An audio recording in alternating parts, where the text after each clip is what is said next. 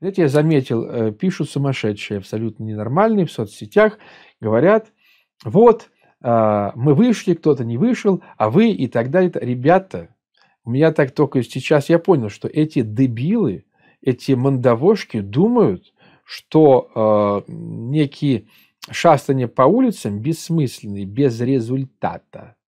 Шастание по улицам без результата – это нечто самодостаточное. Это не самодостаточно, это ничто. Это в минус, это бездарно, это дебилизм, это не самодостаточно. И перестаньте анонировать на эти тупые проходки. Я не против, я только за. Тогда, когда нельзя по-другому выйти. Но это надо делать умно. Это я вам говорю как военный историк. А если ума нет, тактики, стратегии и дорожные карты, тогда ничего не сделаете. Надо было меня слушать 20 лет назад. Я с детства, с юности, со студенчества очень рано начал публиковаться в ведущих политологических изданиях и выступать на телевидении. Я говорил, я бил во все колокола. Надо срочно, срочно объединяться и не допускать чекистов у власти. Вы меня не слушали, даже Немцов не слушал.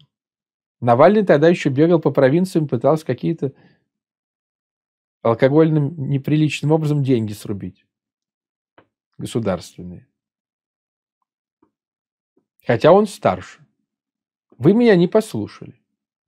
А теперь хотите. Это всегда так. У меня полно примеров, когда с детства, с юности в школе, в институте говорят, вот там личная жизнь, общественная жизнь. Я говорю, это делай, это не делай. Советую, объясняю почему, даю выкладку.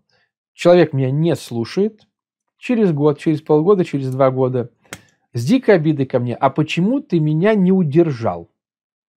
Или как-то не запретил, или минуточку.